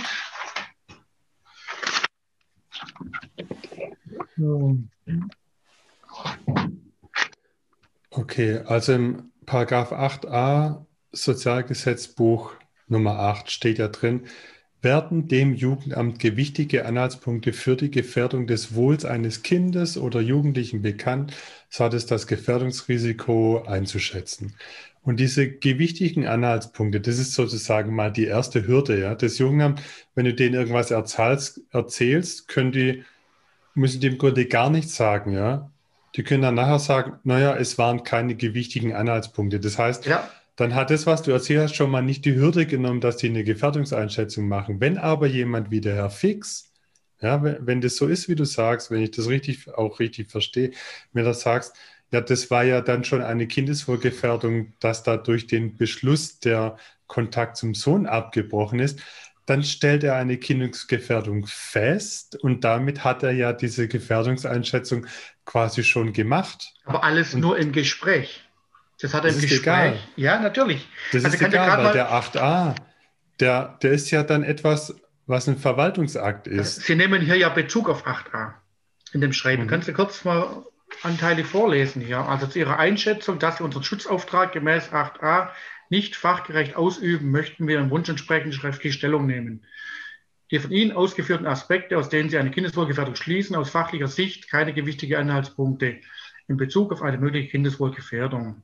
Dazu ist wichtig zu wissen, wie sich die Rechtsprechung um den unbestimmten Rechtsbegriff der Kindeswohlgefährdung annähert. Über Gerichtsurteile wird deutlich, ab welcher Schwelle das Familiengericht von einer Gefährdung eines Kindes und somit von einem Inventions- und einem Eingriffsrecht in elterliche Sorge ausgeht. Nach der Rechtsprechung des Bundesverfassungsgerichts und Bundesgerichtshof ist das Kindeswohl gefährdet, wenn eine gegenwärtige in solchem Maß vorhandene Gefahr vorliegt, dass sich bei weiterer Entwicklung der Dinge eine erhebliche Schädigung des geistigen, seelischen und körperlichen Wohl des Kindes mit ziemlicher Sicherheit voraussehen lässt. Die Anhaltspunkte müssen auf eine solche Gefährdung hinweisen, sonst sind es keine gewichtigen Anhaltspunkte. Die von Ihnen angeführte Anhaltspunkte lassen auf keine erhebliche Schädigung schließen. Das, äh, das ist, ähm, ich würde sagen, das ist falsch, weil in dem Gespräch hat der Herr Fix gesagt, dann ist das ja eine Gefährdungseinschätzung. Jetzt ist die Frage, hat er die, äh, ist es ja eine, ist es ja eine Kindeswohlgefährdung, hat er gesagt, ja. Jetzt ist die Frage, sagt er das, weil er die Gefährdungseinschätzung schon gemacht hat oder weil er die gewichtigen Anhaltspunkte sieht und man eine Gefährdungseinschätzung machen müsste. Auf jeden Fall, wenn das die Schwelle genommen hat, der gewichtigen Anhaltspunkte, dann muss das Jugendamt die Gefährdungseinschätzung machen. Dann greift es als Verwaltungsakt und dann kannst du das nämlich vorm Verwaltungsgericht einklagen. Ich habe es noch nicht selber probiert und auch keine Beschlüsse dazu gefunden, aber vielleicht kann man auch das Jugendamt dazu bringen, gewichtige Anhaltspunkte anzuerkennen, indem man vors Verwaltungsgericht geht und eine Leistungsklage macht, weil diese diese Einschätzung der gewichtigen Anhaltspunkte, das ist ein Realakt, kein Verwaltungsakt. Und ein Realakt kannst du über eine Leistungsklage und nicht über eine Verpflichtungsklage einklagen. Die Frage ist halt, wie gewichtig ist meine Gesprächszusammenfassung, die ich immer schicke, und es kein Widerruf kommt oder sagt, das haben wir so nicht beschrieben. Also in dem Moment ist, ist, eigentlich anerkannt eigentlich. Das ist ja so, wenn du vor das Verwaltungsgericht gehst, erstens kannst du ja sagen, hier meine Begründung, die ich erweitern will, sobald ich Akteneinsicht genommen habe. Damit kriegst du schon mal automatisch Akteneinsicht. Das ist mal das eine, ja. Weil dann musst du dich nicht mal rumschlagen. Das andere ist, genau, richtig. das Jugendamt muss ja dann, wird vom Gericht aufgefordert, Stellung zu nehmen. Und dann ist ja das, was du selber aufgeschrieben hast und sie nicht widersprochen haben, da schreibst du in deiner Klage einfach, habe ich hingeschrieben, wurde nicht widersprochen. Damit gehe ich von einer konkludenten Einverständnis aus mit dem, was ich geschrieben habe. Ja? Und dann wird das Jugendamt halt Stellung nehmen müssen. Und damit hast du den Ball ins Rollen gebracht. Wie gesagt, schriftlich bekomme ich halt nichts. In jedem Gespräch haben sie es immer wieder gesagt, ja, allein dieser Alkohol, dass es hirnschädigend ist. Ja, da brauchen wir nicht drüber diskutieren. Die wird mir jetzt noch, wir haben ja auch diverse Doktoren in unserer Grunde, äh, Gruppe drin. Dann, dann macht damit eine Verwaltungsklage. Und das Interessante ist ja, der Herr Landrat Walter heißt er doch. Ja, Walter Tübingen. Tübingen, ja. Genau, also der hat ja da in diesem Interview mit dem SWR so fast schon nach meinem Eindruck ignorant gesagt, naja, wenn die Väter da behaupten, das Jugendamt würde eine Kindeswohlgefährdung machen, dann sollen sie doch mal deshalb vor Gericht gehen. Ja? Genau, richtig. Genau, jetzt kannst du das halt mit, mit Reutlingen mal durchexerzieren vor dem Verwaltungsgericht, ja. Und indem du da halt eine Leistungsklage oder Verpflichtungsklage machst und denen sagst, hey, ihr müsst jetzt die Gefährdungseinschätzung machen, weil einer von euch hat ja gesagt, das ist eine Kindeswohlgefährdung. Wenn du die dazu verpflichten kannst, dann heißt es ja im Umkehrschluss, weil sie es nicht gemacht haben, war es ja bis dahin eine staatliche Kindeswohlgefährdung, weil sie es unterlassen haben. Richtig. Gut, was man auch dazu sagen muss, im Gespräch beim Landrat Walter habe ich im Walter ja quasi ein, ein Schreiben übergeben, wo ich die Kindeswohlgefährdung angezeigt habe. Ich habe dann vom Walter persönlich ein Schreiben bekommen, wo er quasi die mehr oder weniger anerkennt, die Zuständigkeit jedoch nach Reutlingen weitergibt. Sagt, wir sind leider nicht zuständig. Ja. Also es ist quasi schon anerkannt worden, dass es eine ist, aber halt Zuständigkeit nicht bei uns, sondern in Reutlingen. Eigentlich hätte er von Amts wegen aus direkt Reutlingen anrufen müssen und sagen, pass auf, hier ist Kindeswohlgefährdung. Also jeder, der von Kindeswohlgefährdung Kenntnis hat, muss eigentlich reagieren. Was er nicht mhm. getan hat, außer halt die Verantwortung weitergeschoben hat. Also Schreiben gibt es ja auch und so. Also. Ja, das kannst du auch dann in die Verwaltungsklage mit reinpacken. Gut, da habe ich jetzt halt noch so gar keine ähm, Erfahrung mit Verwaltungsklagen. Die sind gar nicht so schwer. Also läuft eigentlich wie vom Familiengericht. Du musst halt wissen, welche Klagearten es gibt und halt, ja. wenn du sagst, es wurde eine Kindeswohlgefährdung festgestellt, ja, und das heißt, die gewichtigen Anhaltspunkte sind ja da, und du willst jetzt das Jugendamt dazu verpflichten, dass die eine Gefährdungseinschätzung machen. Das wäre zum Beispiel so ein Ansatz. Das ist eine Verpflichtung. Ja, aber da weiß, da weiß ich jetzt schon wieder, was rauskommt. Wenn die eine Einschätzung machen, die können ja nicht komplett jetzt wieder von diesem Schreiben abspringen und sagen, ja, es ist eine. Werden sie ja nicht tun. Na, was sie ja bei mir gemacht haben, ist, dass sie gesagt haben, das war keine Gefährdungssache, sondern das haben wir einfach als Meinung im Rahmen der Beratung gesagt. Gut, aber ich habe ja hier als Einschätzung, als Stellungnahme zu 8a. Steht da ganz Seite drin. Genau. genau. Ist ja gemacht, also die Stellungnahme zu 8a. Ja, dann mach eine Verpflichtungsklage, ja, dass du sagst, das Jugendamt hat selbst festgestellt, dass gewichtige Anhaltspunkte da sind. Ziehe mein Schreiben an das Jugendamt, ja, das Gespräch, und du willst sie verpflichten, eine Gefährdungseinschätzung zu machen. Und dann halt, wenn die zutrifft, dass sie dann entsprechend handeln und das Familiengericht anrufen wie es in dem, ich glaube, ich schaue mal gerade, genau, das ist der Absatz 2, hält das Jugendamt das Tätigwerden des Familiengerichts für erforderlich, so hat es das Gericht anzurufen. Tja, aber wie gesagt, die hängen unter einer Decke halt drunter alle, das ist halt, ich versuche jetzt mal über die Öffentlichkeit erstmal das zu machen. Ja. Öffentlichkeitsarbeit, wie gesagt, jetzt halt andere Leute, mein Verteiler wird jetzt immer länger, wenn ich eine E-Mail schreibe. Ja, dann tut es mir nicht weh, wenn du mal zwei Leute mit reinsetzt, weil dann kann sich unter den Tisch gekehrt werden, ganz einfach. Ja, wenn der, der Landrat, der Chef und der ähm, Väteraufbruch für Kinder und Bürgerbeauftragte die gleiche E-Mail bekommen, dann muss er reagieren. Dann kann er nicht irgendwas schreiben, dann muss er reagieren. Und diese Antwort ja. weiß auch, wird weitergehen an alle, die in dem Verteiler drin waren. Da muss ich dreimal überlegen, was er schreibt. Also ich habe jetzt hier ganz klar, dass diese Videos, die vorliegen, Ja. Und dann die Stellungnahme zu den Videos. Und da muss man einfach gucken, passt das zusammen oder nicht. Ja, das sind Videos, wie gesagt, mit dem Alkohol. Oder er war zum Beispiel, es gibt ganz klare Sachen nach Seuchenschutzgesetz. Er war unter Quarantäne gestellt. Die Mutter hat ihn Fußball spielen lassen im Fußballverein. Während der Quarantäne. Das hat niemanden interessiert. Er war nachts um vier auf dem Flughafen Stuttgart während der Quarantäne.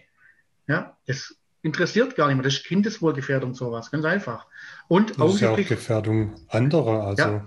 Vor allem könnte das ja auch eine Ordnungsstrafe nach Corona-Verordnung ja. halt nach sich ziehen. Das ist Aufsichtspflichtverletzung der Mutter, ganz einfach. Das ist schon mal das Erste. Ja? Aber das interessiert gar niemanden. Und da gibt es aber ganz klar die Nachweise und dann reden sie sich wieder raus, sagen, ja, man sieht ja gar nicht, wann das war. Ich sage, wollen Sie sehen? Ich kann Sie nachweisen, wann dieses Live-Video, ja, bei Instagram kann man einfach nur live machen, ja, hm. wann das aufgenommen wurde.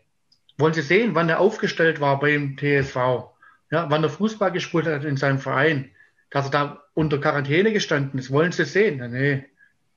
Die wollen es gar nicht sehen. Sag ich, ja, es gibt. Ja, die, wir sehen nur Fakten Alkohol. interessieren nicht. Die. Fakten haben keinen interessiert, als man dir das auch mal als Bestimmungsrecht genommen hat. Und die Fakten interessieren jetzt nicht, weil das Ziel ist einfach, dass das Kind jetzt bei der Mutter ist. Punkt. Und du hast recht. Also ich empfehle immer ein zweigleisiges Vorgehen. Das eine ist Gericht, ja, und Verwaltungsgericht ist immer interessant, weil das Jugendamt dann Stellung beziehen muss und du Akteneinsicht kriegst und die Verwaltungsgerichte auch durchaus gegen Jugendämter entscheiden. Und das andere ist Öffentlichkeit. Und das ist einfach das Wichtigste, weil Politiker wie Landräte zum Beispiel, die wollen eine weiße Weste haben. Und wenn da der Öffentlichkeit Richtig. was kommt, was schlecht ist für die, ja, wenn die als Kinderrechteschänder entlarvt werden, dann kommt es gar nicht gut. Und je mehr Väter oder auch Mütter, die benachteiligt werden, das dann ich sage es mal nochmal ganz klar, die dann diskriminiert werden vom Jugendamt Reutlingen und Jugendamt Tübingen. Ja, sie werden diskriminiert, Punkt.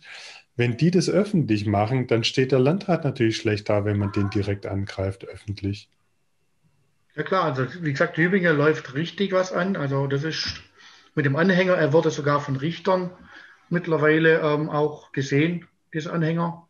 Weil der Gregor hatte ja Verhandlungen vor kurzem dem wollte man die Gesundheitsfürsorge entziehen, quasi einem Arzt entzieht man die Gesundheitsfürsorge, ja. Hat auch den Anhänger natürlich direkt vom Gericht geparkt. Was man zu wissen muss, Boris Palmer wohnt direkt gegenüber. Ja. Auch mit dem hatte ich schon Kontakt, der ist ja selber betroffener Vater. Ja. Aber er hat mir auch ganz persönlich geschrieben, sagt, er, er kennt es, möchte sich da aber nicht mit einbringen. Hm. Ja, also quasi, das schneide ich raus, weil das hat er ja persönlich ja, geschrieben. Und dann, ja, okay, ja, ja klar. Ja, ich, vielleicht ein Oberbürgermeister oder wie auch immer. Aber wie gesagt, hm. er kennt die Situation, er ist ja selber auch von seiner ersten Frau relativ vom Tisch gezogen worden. Hm. Ja. ja. ich weiß. Und ja, ähm, lass uns zurück zu dem, was man offiziell sagen kann. Ähm, ihr dann, wenn ihr da eine neue Version von dem Anhänger macht, dann lasst doch das Fragezeichen weg oder kommt was ganz anderes drauf. Ja, also ich würde jetzt, wie gesagt, diese Plane gibt es relativ günstig zu kaufen, die kostet 20 Euro und der Druck kostet, glaube ich, 80 Euro. Da kann man jeder, gesagt, okay. ich will den Anhänger eigentlich so machen, dass man relativ schnell und flexibel die Plane umhängen kann. Ja, einfach bloß mit Karabiner und ein paar Ösen, dass man vor den Ort des Geschehens fahren kann. Dann nimmt man jeder für seinen Zweck seine Plane. Bei mir geht es jetzt quasi um die Verfahrensbeiständin. Die mhm. wird persönlich eine Plane bekommen von mir und Anhänger bei ihr geparkt. Ja. Dann geht es ums Jugendamt Reutlingen. Da wird die andere Plane brauchen wie für Tübingen, ganz klar. Okay. Also ihr könnt auch gern, wir haben ja für Freifarm jetzt so, äh, zur Christine Lambrecht haben wir ja so ein, äh, eine Grafik entwickelt, Kinderrechte-Schänderin, also in diesem der Pate-Stil, ja, mit der Hand, die da wie die Marionetten, ja, die Leute zappeln lässt. Das könnt ihr ruhig auch verwenden, ja, und draufdrucken und äh, das verwenden. Ich denke, es geht halt wirklich wirken, tut halt, wenn man sie persönlich trifft und das mhm. in dem Ort, wo sie wohnen. Das heißt, ich weiß, wo die Verfahrensbeiständin wohnt.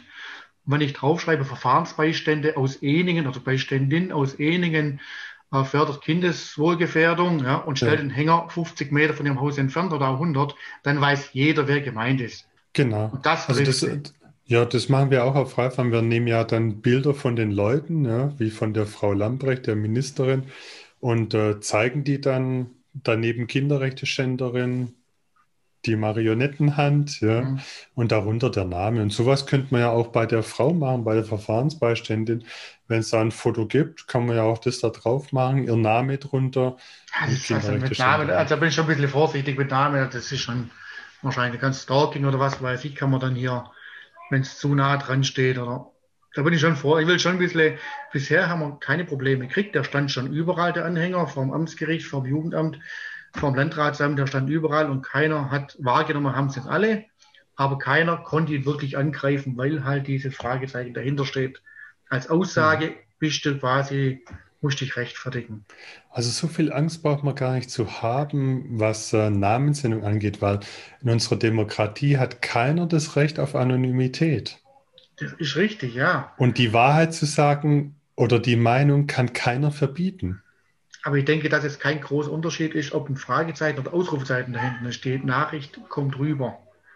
Ja. ja. das stimmt, aber man kann das Fragezeichen weglassen. Weil es, äh, weglassen kann wirklich, man aber ein Ausrufezeichen. Ja, ich weiß, das ist eine Aussage halt. Eine Aussage ist was ja, anderes als eine Frage. Ja, aber es ist wirklich so, die werden dann keinen, ähm, die werden den Rechtsweg nicht bestreiten, weil dann wäre ja Mittelpunkt der Frage, ob denn das jetzt stimmt, was da gesagt wird oder nicht. Das ist richtig. Sie könnten aber vielleicht dagegen vorgehen, dass er dort nicht mehr geparkt wird oder sowas. Sagen hier, Verweis, keine Ahnung, was muss er dagegen ja, schau, vorgehen. Ich, ich habe ja den Landrat im Adona-Kreis, den Heiner Scheffold, habe ich als Kinderrechteschänder bezeichnet ja. auf Freifahrt mehrmals. Ja. Und dann äh, wurde ich ja angezeigt von dem Landrat wegen Beleidigung und auch noch von dem Herrn, äh, dem Regierungspräsident, wie heißt der, Tappert oder so? Regierungspräsidium Tübingen. der hat, mich, ja. der hat mich auch noch angezeigt, ja. Und die Staatsanwaltschaft hat es dann alles fallen lassen, ja. Das heißt, es ist keine Beleidigung, wenn man den Landrat als Kinderrechteschänder bezeichnet und auch dann zeigen kann, warum er denn ein Kinderrechteschänder ist. Und wenn eine Verfahrensbeiständin, die Frau, wie heißt ihr Doppelname? Ich Blum kann nicht mehr. Blumkiefer. Ja.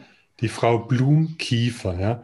Wenn die hier als Pädagogin psychologische Aussagen macht, die dann nachher dazu führen, dass der Vater das auch mal als Bestimmungsrecht verliert, dann ist es eine Kinderrechteschänderin. Punkt. Ist ganz einfach.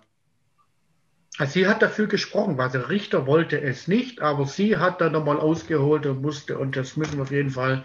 Und Jugendamt hat dann sich einfach einklingt, ja, bin ich auch dafür. Mehr hatte ja, gar nicht gesagt die absolut neutrale Frau Blum-Kiefer, die jahrelang beim Jugendamt Reutlingen gearbeitet hat und sich jetzt als Verfahrensbeiständin ganz unabhängig nur für das Recht des Kindes einsetzt. Ja. Und zufällig genau das empfiehlt, völlig inkompetent. Das war ihr erster Fall, muss man auch sagen. Ihr erster Fall in ja, Reutlingen. Sie war normalerweise immer in Esslingen zuständig. Ich habe die Gleiche Street natürlich, wo wir es gesehen haben, wer das ist was sie gemacht hat, wo sie herkommt, wo sie, was sie beruflich gemacht hat. Und es war ihr erster Fall in Reutlingen quasi und hat sie souverän ja, dann, äh, Ich finde, das sollte auch ihr letzter gewesen sein. Das, ja, sollte es sein, ja. Also das muss man öffentlich machen. Jetzt hier mit dem Video. Du kannst auch gerne noch was auf Freifam veröffentlichen als Artikel oder ich schreibe da auch was darüber, weil äh, dieses Verhalten von einer Verfahrensbeiständin, das ist inakzeptabel. Und dass der Herr Philipp Ries dann auch noch so eine Entscheidung trifft, die nicht auf Tatsachen beruht und auch noch eine Hauptsacheentscheidung ist, das geht nicht. Man kann nicht auf Basis von inkompetenten Meinungen einem Vater einen Teil des Sorgerechts wegnehmen. Ja gut, das Thema ist ja so, also der Herr Ries hat ja schon mal im Vorfeld Verfahrenskostenhilfe für die Mutter quasi genehmigt. Das heißt, da war er schon mal auf dem richtigen Weg. Ja. Das heißt, er hat gesagt, genügend Voraussetzungen, Erfolgsaussichten sind vorhanden. Das ist mhm. schon mal das Erste. Das nächste ist, wenn dann Jugend- und Verfahrensbeistände dafür sind, dem Vater zu entziehen und er sagt dann, nein, ich tue es nicht, dann muss er sich rechtfertigen, warum er sich gegen Jugend- und Verfahrensbeistände und Kindeswille ja, quasi gesträubt hat. Ja, aber ein Richter kann nach Paragraph 37 VMFG kann Richter nur auf Basis von Tatsachen und Beweisen entscheiden. Die wollte er nicht sehen. Ich habe es ihm dreimal gesagt, er wollte es und, nicht sehen. Ja, und alles, was ihm von Verfahrensbeistand oder von Jugendamt geliefert wurde, waren Meinungen. Richtig. Noch dazu inkompetente Meinungen. Es waren keine Tatsachen, keine Beweise. Deshalb habe ich nach dem psychologischen Gutachter gefragt. In der Hauptsache nimmt man ja immer so jemanden, um dann den Beweis zu bekommen für die Entscheidung. Ich sage jetzt nicht, dass es gut ist. Ich würde jedem sagen, nie ein psychologisches Gutachten zu machen. Ja? Aber rein formal gilt das halt als Beweis. Aber eine Empfehlung von einer Verfahrensbeispiel vom Jugendamt ist kein Beweis und es sind auch keine Tatsachen, die da geliefert wurden. Was mich halt auch tierisch gestört war, ist, der Antrag von der Gegenseite kam auf Aufenthaltsbestimmungsrecht und der Richter hat sofort, ohne erstmal unsere Gegenargumentation zu hören, VKH beantragt, mit Erfolgsaussichten. Als mhm. ich dann meine Gegendarstellung gemacht habe, sag hier sprechen wir vom Prozessbetrug. Die Anwältin macht hier Falschangaben, um mich im falschen Licht darstellen zu lassen. Das ist Prozessbetrug. Ja, ist nicht einfach nur oh falsch interpretiert. Es ist kein ja? Prozessbetrug. Das, das verstehen viele falsch. Prozessbetrug ist nur, wenn ein finanzieller Nachteil zu einem Beteiligten entsteht. Was hier gemacht wurde, war, dass der Staat dem Elternteil den Rechtsstreit finanziell ermöglicht, den der Staat benutzen will, um seine Politik durchzusetzen. Ja, aber wie kann ein Richter im Vorfeld schon, wie kann ein Richter im Vorfeld schon die Erfolgsaussichten darstellen, ohne überhaupt so die andere Seite zu hören? Die erzählt irgendeine Grimms Märchengeschichte und der sagt, es sind Erfolgsaussichten da. Ich muss doch erst mal abwägen, ja. weil ich habe alles widerlegt mit Schreiben, mit hier, das stimmt nicht, das stimmt nicht, das stimmt nicht. Ja, und er hat im Vorfeld schon genehmigt. Das Sage ich, da, ja, die, weiß jetzt schon, wo es hinläuft. Genau, richtig. Die Erfolgsaussichten bestanden ja. darin, dass er diese Entscheidung wollte, die auch die Mutter wollte. Ja, das sehe ich auch so im Nachhinein, klar. Aber du kannst halt nichts dagegen machen. Ich sage mal, alles als Lüge dargestellt. Eigentlich hätte der Antrag so nie dargestellt werden dürfen, ja. Erfolgsaussichten sowieso nicht, weil alles gelogen war und nachweislich gelogen. Und trotzdem wird der Antrag zugelassen und VKH gewährt. Während ich natürlich wieder, gut, ich habe keinen gestellt, ich habe eine Versicherung dafür, aber das kann nicht sein, sowas. Ja? Hätte ich keine Versicherung, hätte ich sogar noch jetzt 15 Euro bezahlt für den Entzug vom Aufenthaltsbestimmungsrecht. Das ist nicht okay, sowas. Ja, ja also äh, übertragen wir es mal auf einen anderen Bereich. Nehmen wir an, du und deine Ex-Partnerin hätten zusammen 50-50 ein Auto gekauft. Und dann sagt deine Ex-Partnerin, ich gehe jetzt vor Gericht, weil das Auto gehört mir. Dann sagst du, halt, die Hälfte gehört mir. Dann geht die vor Gericht und dann sagt der Richter, ja, ich genehmige Ihnen Prozesskostenhilfe, weil Sie Aussicht auf Erfolg haben. Ja, dann schlackerst ja. du mit den Ohren, legst dem vor, Moment, hier, Kaufvertrag 50-50. Ich habe 10.000 reingesteckt, ja. sie hat 10.000 reingesteckt. Und am Schluss verlierst du das Auto und musst noch Benzin und Versicherung genau. für das Auto zahlen. Genau den Fall haben wir jetzt ja auch. Es war ja so, ab März ist quasi das Kind ja zur Mutter ja, entgegen der gerichtlichen Vereinbarung. Ich habe es dann irgendwann gebilligt, sagt, okay, bis Ruhe drin ist in der Situation, akzeptiere ich es. So, dann sind wir zum Jugendamt, haben dort noch eine, sag mal, finanzielle Vereinbarung getroffen. Sie bekommt das und das und das und das. Ja, so. Jetzt, nachdem das Urteil durch war, möchte sie rückwirkend von März 4000 Euro, quasi, sie nimmt mir etwas weg gegen eine Vereinbarung gerichtlich, auf die eigentlich Strafe steht und möchte daraus noch quasi, wie du sagst, das Auto noch vollgetankt haben monatlich, ja. Also das mit dem, gegen das kämpfe ich jetzt im Moment gerade wieder mal, weil sie sagt, sie hat ja nichts zu verlieren. Entweder sie kriegt es oder sie kriegt es nicht. Ja? Genau. Wie, wie geht es dir denn jetzt damit, dass du sieben Jahre gekämpft hast um das Recht deines Sohnes auf beide Eltern und dann habt ihr das zwei Jahre lang gelebt, weil ihr eine gerichtliche Vereinbarung gemacht habt. Und dann nimmt man es dir, weil es irgendein Streit gibt, ja, nutzt die Mutter die Situation. Der Staat sagt, Dankeschön, super, jetzt können wir unsere Politik durchsetzen und macht es dann so. Wie geht es ihr damit? Das ist doch eine totale Willkür, wo du jetzt sollst jetzt wieder sieben Jahre kämpfen, aber dann ist dein Sohn schon 21. Das heißt, in vier Jahren ist die Sache ja sowieso gelaufen. Das ist ja der Vorschlag vom Jugendamt gewesen, dass wir wieder in die Beratung gehen. Das sagt, ihr habt doch einen Schuss nicht gehört. Ja, ich fange doch jetzt nicht bei Null und noch weiter bei Minus an, weil momentan habe ich gar keinen Kontakt. Früher ja, also, hatte ich 14-tägig. Ja, das Jugendamt lässt dich in Stich und auch dein Richtig, Sohn. Genau. Der Richter lässt dich und dein Sohn völlig im Stich. Was jetzt? Jetzt kommt die Öffentlichkeit ins Spiel. Das ist das Thema jetzt einfach. Ja, ich kenne auch mehrere Leute von Reutlingen, die auch betroffen sind. Ja, ich gehe da nicht alleine dann quasi, ich kann Namen nennen dann und sagen, hier der, der, der, der, der hat ebenfalls Erfahrungen gemacht mit euch, aber ich werde es erstmal nur für meinen Sohn und um die, eigentlich nur den Fehler wieder gerade zu bügeln, wieder um auf Normalzustand von vorher zu kommen. Mhm. Ja? Und aus Jugendamt oder dieser Berater sagt, mir ging es nie darum, irgendwas für mich alleine zu haben. Ja? Sagt er immer, ich war immer derjenige, der beide Eltern haben wollte, immer fürs Kind. Das ist die einzige Person, der die, die Frau mittlerweile durchschaut hat und es auch wirklich scheiße findet, was er macht. Und es auch nicht öffentlich, aber im Gespräch mit seinem Gruppenleiter quasi aussagt. Ja? Aber sagen ist halt sagen und schreiben ist was anderes. Ja, und Bisher habe ich halt Ziele der, und die Ziele der Politik sind auch wieder was anderes. Ja. ja, aber da muss man halt in meinem Fall jetzt einfach mal abrücken und sagen, gut, dann kriegt man halt diese paar hundert Euro nicht oder die Mutter kriegt sie nicht. Aber den Stress, den wir jetzt hier haben, wegen diesem einen Fall, wollen wir das oder wollen wir das nicht? Genau, also ich glaube, das ist was, die Öffentlichkeit, das aber auch vor Gericht, dass man den so einen Stress macht, dass die sich irgendwann sagen, okay, das muss geändert werden, weil den Stress tun wir uns nicht mehr an. Der, der Herr Bianco, der bindet so viele Ressourcen bei uns, dass wir die anderen nicht ja. diskriminieren können, wie wir wollen. Ja. Jetzt, jetzt ja. diskriminieren wir den nicht mehr, damit wir da die Ressourcen haben. Aber das bringt dann wieder diesen Crack, ja, diesen Riss in die Mauer rein, wo dann auch die anderen davon profitieren. Und ich finde es cool, dass ihr da in Tübingen euch zu einer Gruppe zusammengeschlossen habt, Merkst du, dass es was bringt, wenn man da als Gruppe auftritt? Also der Erfahrungsaustausch, Informationsaustausch ist sehr wichtig. Ja, also, und wie gesagt, auch allein dieses, dass ich jemand mitnehmen kann als Verfahrensbeistand oder als Beistand zum Jugendamt, das hätte ich vorher nie gehabt. Ja, die erzählen mir immer das Grüne und das Blaue vom Himmel runter und danach kommt dann so ein Schreiben wieder. Nein, jetzt war jemand dabei, der teilweise auch ein bisschen deeskalierend gewirkt hat, ja, aber auch sehr bestimmt.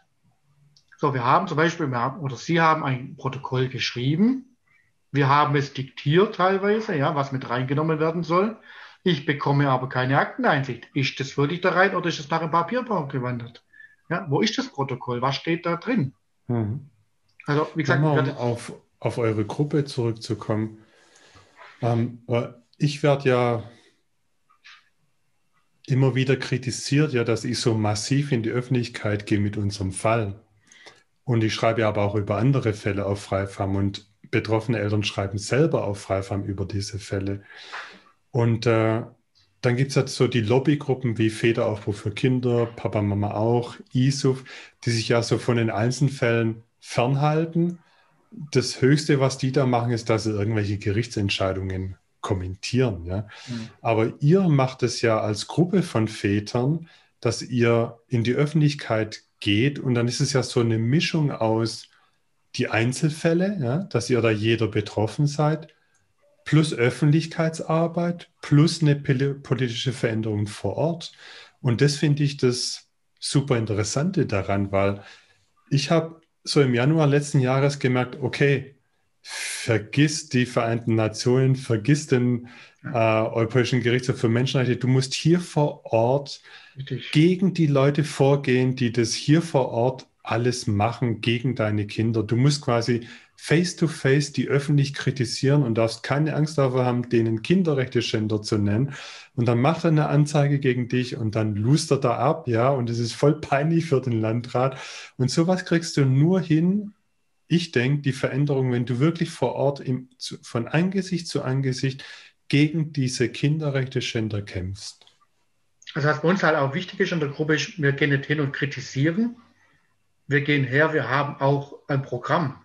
Wir hm. haben Veränderungsvorschläge, ja. Hm. Einer zum Beispiel ist ähm, Freitagmittag. Alle Kinderübergaben finden Freitagmittag statt. Was passiert, wenn es nicht stattfindet? Jugendamt anrufen, Freitagmittag. Erreicht niemand. Kannst du am Montag hin und sagen, übrigens, letzte Woche hat es nicht geklappt. Oh, schade. Willst nächste Woche nochmal. Und da sind wir eigentlich, das ist ein Punkt, wo wir sagen, wir möchten eine Nummer, wo man einfach anrufen kann, sagen, hey, pass auf, ja, es funktioniert nicht, komm her. Oder dass bei dreimal nicht geklappter Übergabe das Jugendamt sagt, gut, dann schicken wir jemand dazu. Dann sind wir dabei bei der Übergabe, ja, dass man mal sieht, warum, weshalb, wieso. Wir haben einen Vater, der fährt jedes Mal ähm, 200 Kilometer. Also von hinter München fährt er hierher, holt sein Kind, fährt zurück wieder, ja. Und wenn sie halt sagt, ich möchte nicht, dann hat er halt Pech, ganz einfach. Mittlerweile funktioniert es recht gut, aber das sind einfach so Sachen, wo man sagen muss, was ist, wenn? Wenn die Mutter einfach oder auch der Vater, jetzt, wir hacken auf der Mutter rum, es geht auch unter aber im Grunde ist die Mutter in den meisten Fällen.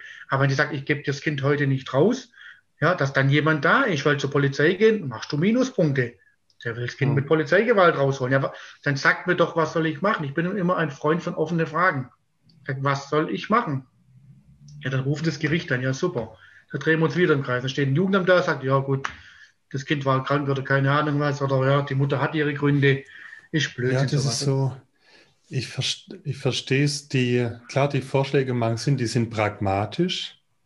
Die Vorschläge selber sind ja nicht die große Veränderung, ja, weil die Sichtweise und Zielrichtung des Jugendamts heißt ja immer noch Kinder nur zu einem Elternteil, wenn die Eltern sich uneinig sind. Ja. Richtig, genau. Das Ziel ist ja nicht, Kind muss immer beide Eltern haben, ja. Ähm, dass der Vater dem Kind Bombos reinlegt äh, in der Schule ins Fach, darf kein Grund sein, den irgendwie zu benachteiligen. Ja. Diese Zielrichtung haben die ja gar nicht. Die haben ja genau die gegenteilige Zielrichtung. Deshalb sind die pragmatischen Vorschläge eher etwas, was dann innerhalb dieser Zielrichtung das Ganze erträglicher macht. Aber die große Veränderung kann man ja damit nicht erreichen. Das geht ja nur über die Öffentlichkeit. Ja, man kann es auch positiv öffentlich machen. Wenn Sie sagen zum Beispiel, euer Vorschlag ist ein Vorschlag. Den nehmen wir nicht zu 100 Prozent, aber wir können daran arbeiten. Die Idee generell finde ich gut. Ja, wir können daran arbeiten. Was können wir machen? im Rahmen unserer finanziellen, kostet alles auch Geld, natürlich, klar, unserer personellen Mittel, finanziellen Mittel, was können wir machen? Und wenn dann was getan wird, kann man natürlich auch das an die Öffentlichkeit hängen und sagen, hey, es geht voran. Ja, also ist nicht immer nur negativ, aber momentan mhm. ist es halt einfach negativ und sie machen einfach brutal viele Fehler im Moment. Als Beispiel, wir haben ihnen blaue Nikoläuse geschickt oder ich habe es vorbeigebracht vom Landratsamt. Jeder einzelne Nikolaus war beschriftet, für wen und von wem er kommt. Es waren drei aus unserer Gruppe, haben Nikoläuse geschickt. Sie haben alle Nikoläuse zusammengepackt und an den Gregor zurückgeschickt. Das heißt Datenschutz. Ja. Sie haben meinen Nikolaus, den ich geschenkt habe, einer dritten Person weitergeschickt. Das geht so nicht. Dazu mhm. waren sie kaputt noch, beschädigt und der Herr Walter selber hat unterschrieben, sie dürfen keine Geschenke annehmen. Ja. Das war der Grund quasi. Und so machen sie gerade ständig Fehler, einmal gegen äh, Datenschutzverordnung jetzt quasi verstoßen. Woher weiß der Gregor, dass ich, der Hanna, vier Nikoläus an der Walter und an seine Konsorten geschickt habe? Dann werden sie gescreent, dass er gegen die Corona-Auflagen zum Beispiel verstößt. Hast du vielleicht schon mitgekriegt, oder? Mhm. Also der Herr Walter hat eine Anzeige, auch vom Gregor, weil er in einer Jugendausschusssitzung ohne Maske hm. auf 80 Zentimeter neben anderen Kollegen gesessen hat.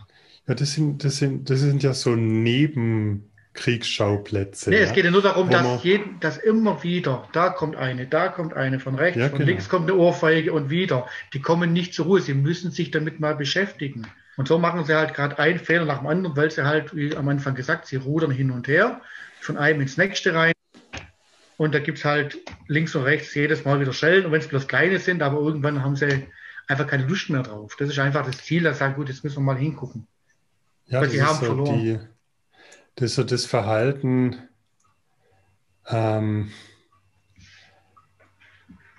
ja, es ist halt diese Machtposition, die die haben und versuchen da halt alles nur zu vertuschen, loszuwerden, Fehler zu verhindern, indem sie halt Leuten verbieten, mit euch zu reden, weil sie Angst haben, ja. dass die Leute Fehler machen, ja.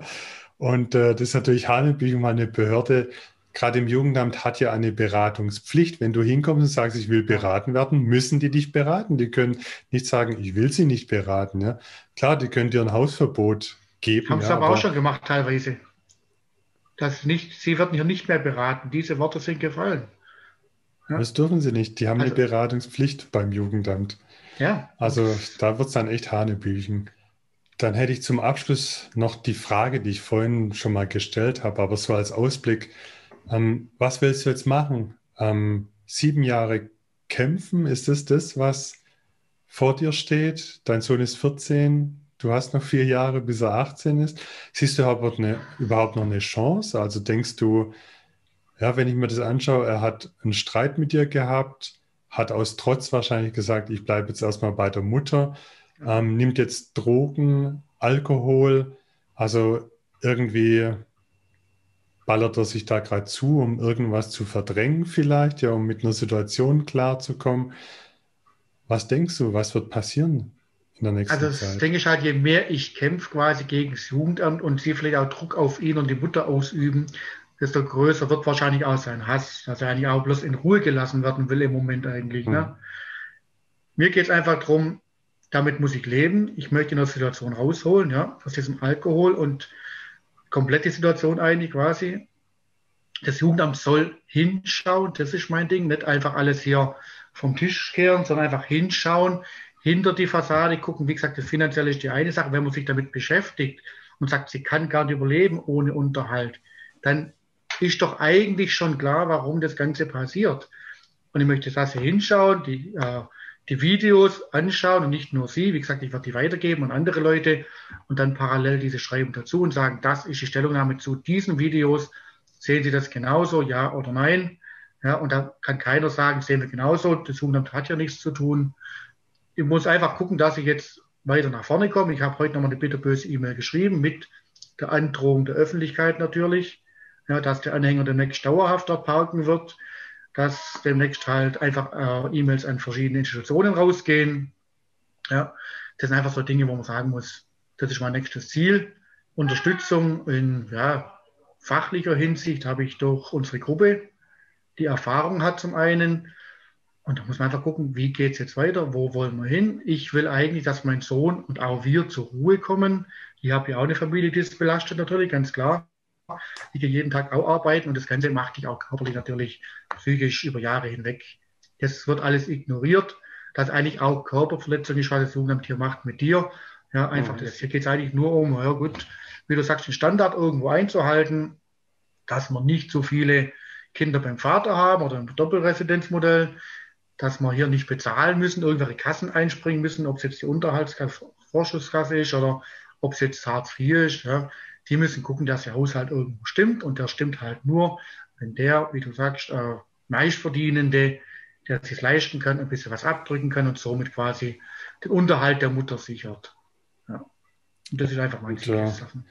Es ist ja so, indem das äh, Jugendamt Reutlingen hier nicht Grundrechte und Kinderrechte konform agiert und vorgeht und auch das Amtsgericht Reutlingen nicht mit dem Herrn Philipp Ries, dadurch wird ja bei dir und deinem Sohn eine psychisch und auch psychosomatische ähm, Beeinträchtigung hervorgerufen. Und das ist ja dann das Wesen der Diskriminierung. Ja? Die spekulieren ja dann auch darauf, dass du zermürbt bist und irgendwann aufhörst, weil du es einfach nicht mehr aushältst. Ja. Das erste ist finanziell ruinieren, ja. Das ist das Erste, was sie immer vorhaben. Klar, gehen sie halt wieder zu Gericht, ja, 1500 Euro, klar, logisch. Das kann man zweimal im Jahr machen oder wie? Also, wie gesagt, ich habe eine Versicherung mittlerweile, die hat jetzt schon ein paar Mal bezahlt, aber irgendwann hören die auch auf. Aber finanziell sage ich, für 1500 Euro Aufenthaltsbestimmungsrecht zu verlieren, da hätte ich hier was Besseres machen können. Hm. Ja, mit dem Geld meiner Familie was Gutes tun können damit.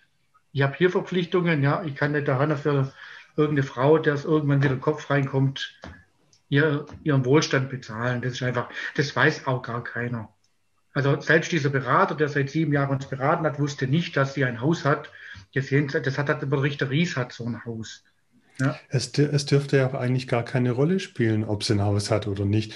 Nirgendwo im Grundrecht steht drin, dass ein Elternteil, der ein Haus angeschafft hat, das Kind haben sollte. Steht auch nicht in den Kinderrechten drin. Nee, darum geht es ja nicht. Es geht aber darum, dass sie einfach sich falsch darstellt. Sie stellt sich immer da wie ganz normal die alleinerziehende Mutter mit drei Kindern und sie ist darauf dringend angewiesen. Ja, ja. ja genau. Das und das, heißt, ja. natürlich. Und, und das tut sie ja deshalb, weil das Kalkül ist, dass dann der Richter, das Jugendamt, die Verfahrensbeistände darauf anspringen. Und das Richtig. tun sie ja auch, Richtig. weil sie wollen ihre Politik durchsetzen. Und das ist Mutter, das genau. Hauptproblem. Genau. Und der Staat bezahlt ja die Leute, damit sie das machen. Du musst arbeiten gehen, wahrscheinlich Vollzeit, ja, und ja, musst nebenher ja. dich gegen, gegen mehrere Leute verteidigen, die Vollzeit ja. daran arbeiten, dich zu Richtig. diskriminieren und dein Sohn. Genau. Ja. ja, also sie hat mittlerweile dreieinhalbtausend Euro netto im Monat und bekommt Verfahrenskostenhilfe. Das ist mhm. eigentlich, muss man da auch in die Öffentlichkeit gehen und sagen, hier ist Verschwendung von Steuergelder. Das kann nicht sein. Mit dreieinhalbtausend Euro netto Verfahrenskosten zu bekommen. Oh, das, ist, äh, das ist im Grunde so eine, eine Art von staatlichem Belohnungsgeld dafür, dass sie geholfen hat, die Politik, die Familienpolitik umzusetzen nach Trennung. Ja, gut, klar, kann man so sehen, ja. Aber wie gesagt, das ist einfach, ich weiß, eh, ja, kann sich nachvollziehen irgendwo, was mhm. da gerade abgeht. Ja. Okay, super, Giovanni. Vielen Dank, ja. dass du hier uns Einblicke gegeben hast. Ich finde es ganz toll, was ihr da in Tübingen auf die Beine gestellt habt, dass ihr da ähm, mehrere ähm, Radiobeiträge äh, hinbekommen habt, ja, die über euch berichtet haben und auch äh, nachrichtlich, ja, textlich, Presseberichte äh, und so.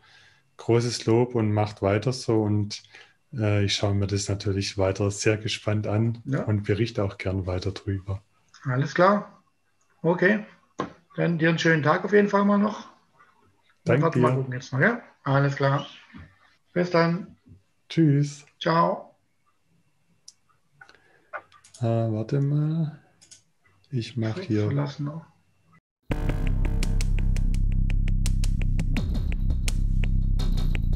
Ihr könnt diesen Kanal abonnieren, dann bekommt ihr Benachrichtigungen automatisch über alle neuen Videos. Vergesst nicht, die Glocke zu aktivieren, damit ihr wirklich über alle Videos benachrichtigt werdet. Und wenn ihr wissen wollt, was so auf der Website passiert oder welche neuen Videos es gibt, dann könnt ihr uns auf Twitter folgen oder auf Facebook. Wenn ihr einen Fall habt, über den wir berichten sollen auf Freifam, dann schreibt uns an info.freifam.de. Und last but not least, du kannst auch spenden für Freifam. Jeden Cent deiner Spende werden wir verwenden, um unsere neuesten Artikel auf Facebook oder Twitter zu bewerben. So ermöglichst du uns, die Reichweite von Freifam zu erhöhen.